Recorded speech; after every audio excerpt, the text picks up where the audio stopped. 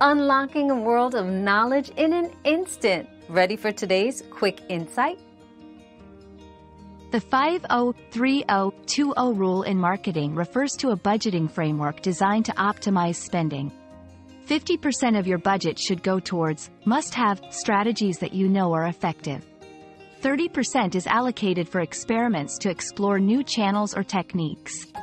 The remaining 20% is reserved for wildcard initiatives, which are high risk but potentially high reward. This approach encourages a balanced investment in proven tactics, innovation, and exploration, ensuring a diversified marketing strategy that can adapt to changes and discover new opportunities. Another mystery solved, but many more await. Keep up with our daily discoveries by subscribing and turning on notifications.